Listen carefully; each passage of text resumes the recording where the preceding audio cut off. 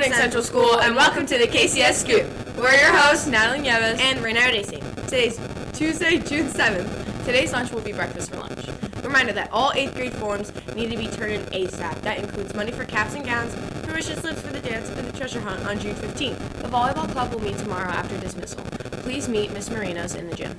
Book club for grades 3rd through 5 will meet today, after school, in room 9. Pokemon Club meeting today after school in room 36. This is Renata Daisy and Natalie Nieves signing out. Make it a Red Raiders!